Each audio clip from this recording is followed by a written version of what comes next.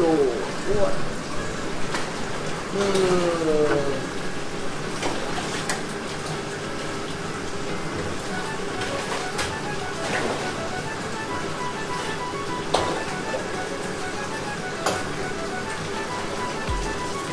Gak nyampe 5 menit guys Kalian bisa lihat Sudah habis Hai Sobat Amis, sebelum ditonton video ini, jangan lupa untuk klik dulu tombol subscribe-nya dan klik gambar loncengnya ya guys. Biar Sobat-Sobat Amis gak ketinggalan video dari kita-kita tentang dunia ikan. Subscribe itu nggak bayar kok, alias gratis guys.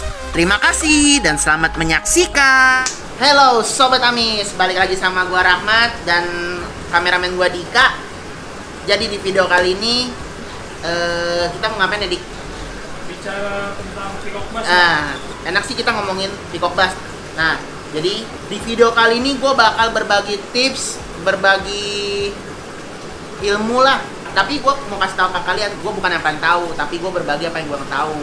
Nah, gue mau berbagi tips. Banyak yang nanya gue, banyak yang DM bilang peacock bass ini jenisnya apa sih? Peacock bass ini jenisnya apa sih? Peacock bass ini jenisnya apa sih? Ya kan? Jadi untuk kalian yang kalau mau tahu jangan lupa di subscribe dulu ya kan di like dulu sama di share karena kita sedang menuju ke 10.000 subscriber guys. Oke?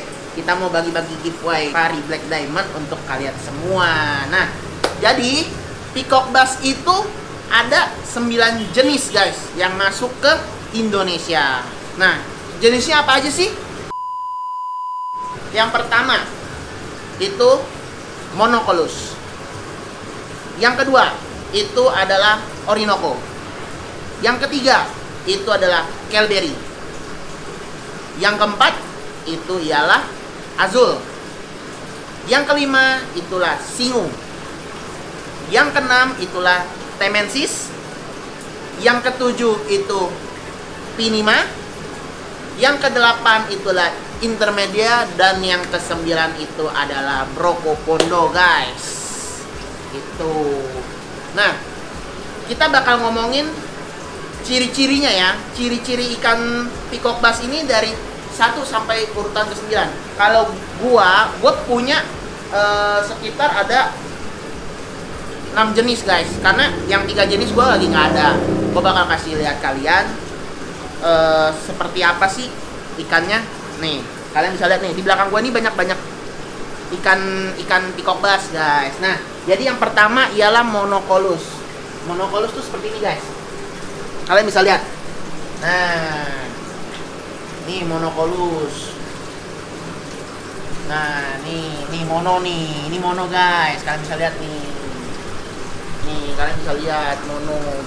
Nah, dia motifnya dia itu tiga garis ke bawah. Tiga garis ke bawah dan mulutnya itu agak rahang bawahnya itu agak maju guys. Nah kalian bisa lihat. Nah nih yang ini nih. Kalian bisa lihat nih. Nah ini monocolus nih. Nih yang ini nih. Nah ini monocolus guys. Nah yang kedua itu Orinoco. Cuman kalau untuk Orinoco gue lagi nggak ada stok. Kalau untuk Orinoco itu sama seperti eh, monocolus. Cuman bedanya Orinoco itu ada tiga spot jadi tiga spot berjejer cuman berpisah satu dua dan tiga itu guys. Dan dia warna dasarnya itu nggak ada merah. Setahu gua itu monocolus itu warna dasarnya itu eh di bagian apa? Bagian finnya bagian ekornya semua agak kebir-biruan gitu guys. Nah yang ketiga itu ialah Kelberry. Nah kalau Kelberry gue punya. Seperti ini guys. Nah kalian bisa lihat. Wow. Nah, ini Kelberry guys. Nih Kelberry, ini juga Kelberry. Nah, ini Kelberry nih guys. Tuh. Ini Kelberry. Nih Kelberry nih. Nah, untuk Kelberry sendiri itu tergolong ikan tibas yang agak unik. Kenapa gue bilang unik? Karena pertama dia itu bagus dari markingnya karena totol-totol totol-totol hitam seperti markingnya full itu mungkin uh, untuk ikannya itu lebih bagus. Kalau misalnya dia sama seperti ikan lohan guys. Jadi kalau kita merawatnya dari kecil kurang benar maka markingnya akan biasa-biasa aja. Tapi kalau kita rawatnya secara benar secara bagus pakannya juga benar itu mungkin warnanya akan lebih tegas. Nggak hanya kelberry semua pibas pun juga kalau kita rawatnya dari kecil itu benar itu warna akan keluar semua guys. Yang keempat itu adalah blue azul. Kenapa gue bilang blue azul? Karena emang warna dasar ikan pibas ini biru. Contoh blue azul blue azul. Nah ini blue azul gue nih guys. Kalian bisa lihat nih. Ini blue azul gue biru full. Nih azul nih. Nih ini blue azul nih. Ini biru guys nah. Nah untuk blue azul itu ikan tergolong pibas yang paling lama besarnya. Kenapa? Karena gua nggak tahu juga. Karena itu mungkin hukum alamnya guys. Nah untuk blue azul dia itu untuk warna dia biru terus ada garisnya. 5 biji tebal. Contoh.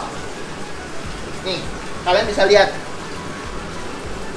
Sekilas mirip mono ya. ya sekilas mirip mono. Cuman makin dia besar makin dia eh, garis hitamnya makin tebal. Terus badannya itu bukan kehijauan tapi agak keabuan. Dan siripnya finnya semua segala macam biru guys. Kenapa gua bilang emang cukup agak lama kalau blue azul? Karena semua pemain meskipun temen gua eh, hobis-hobis yang lain dan peternak itu ngomongnya blue azul itu agak lama pertumbuhannya sama seperti Orinoco. Tapi tergantung guys. Nggak semua blue azul itu tumbuhnya lama. Ada juga yang tumbuhnya cepat tergantung dari si ikannya itu sendiri. Nah yang kelima ialah bass singu. Nah singu. Untuk singu gue juga ada. Untuk singu nah ini singu guys ini nah tuh ini guys. Mereka lapar guys. Nah ini nah untuk singu ciri khasnya hanya satu. Garis aja panjang. Kenapa dia bilang singu karena bass ini asalnya dari sungai di daerah Amerika Latin itu di perairan Sungai Singu. Ada namanya Sungai Singu.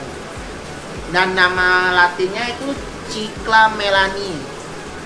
Nah, dibilang datangnya Singu karena di Indo emang habitat asli ikan ini di Sungai Singu. Bedanya tuh gampang. Kalian tinggal lihat spot garisnya aja hanya rata.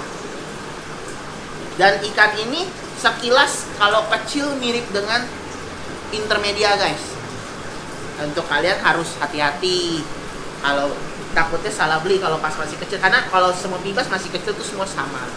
Itu nah yang keenam itu adalah temensis. Nah temensis. Ikan yang paling fenomenal. Nah untuk temensis gue juga ada. Nih jenisnya nih temensis. Ini temensis guys. Nah ini temensis Nah, Temensis ini dibilang eh, ini masih luar dan kalau yang lain sudah ternakan Indonesia. Kalau yang Temensis ini emang dia dari luar, nggak bisa ternak di Indonesia karena setahu gua Temensis ini dia itu ikan pibas yang black water guys. Black water itu kalau kayak air-air keruh ya, air-air keruh Nah, nah, udah gitu dia ikan pibas paling besar di antara semua spesies.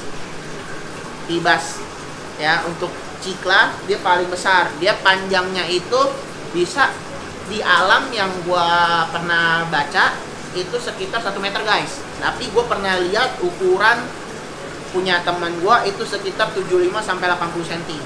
Dan itu lama banget guys kalau pertumbuhannya udah di atas 50 cm itu udah lumayan lama pertumbuhannya. Mesti tempat yang besar sekali guys. Gitu. Dan pibas ini keunikannya lucu.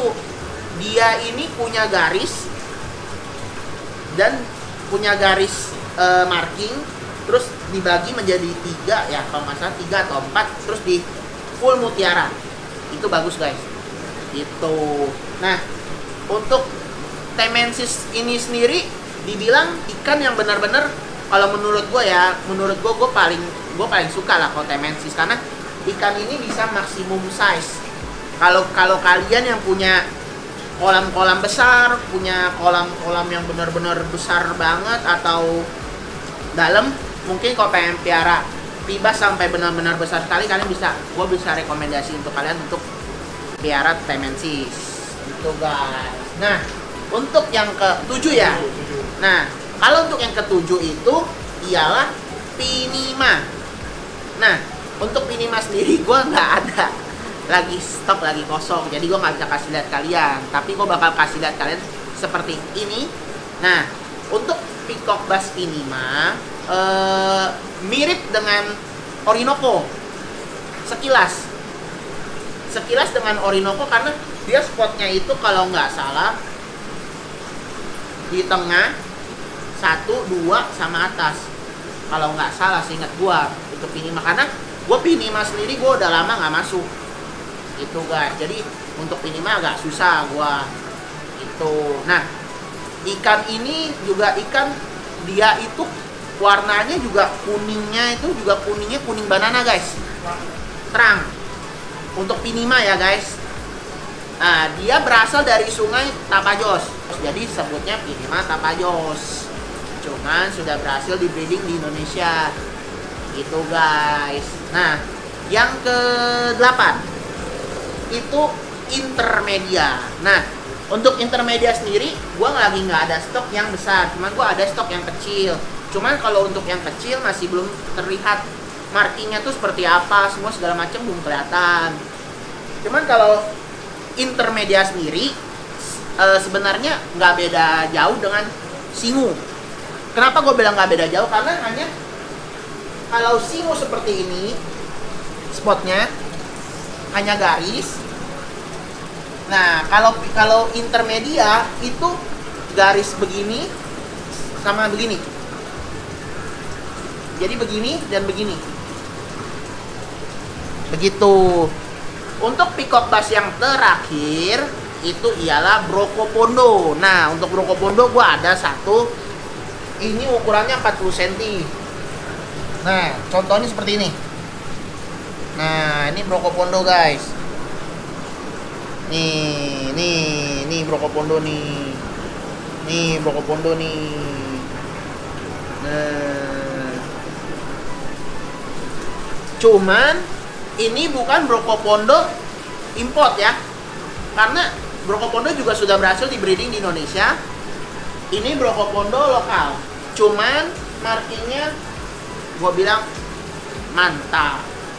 Nah untuk brokopondo sendiri eh, gue sepengalaman gue main brokopondo hanya beberapa orang yang punya brokopondo pure dan nggak mau dieksplos.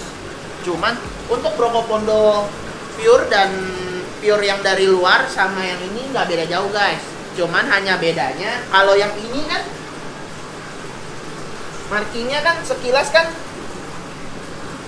rata. Nih kalian bisa lihat. Markingnya ini sekilas kan ada garis stripnya. Kalau untuk yang brokopondo pure beda guys. Nah contohnya seperti yang ini. Nah kalau misalnya bedanya ya maklum lah guys.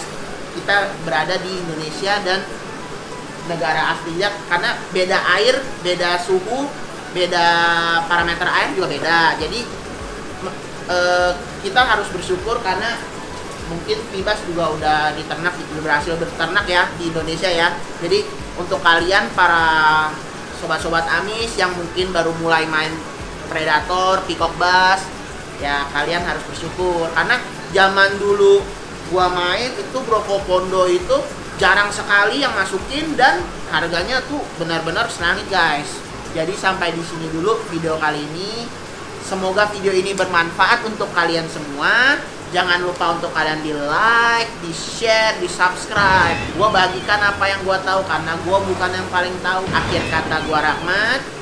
Gua Dika. See you next video dan salam amis. Bye bye. Música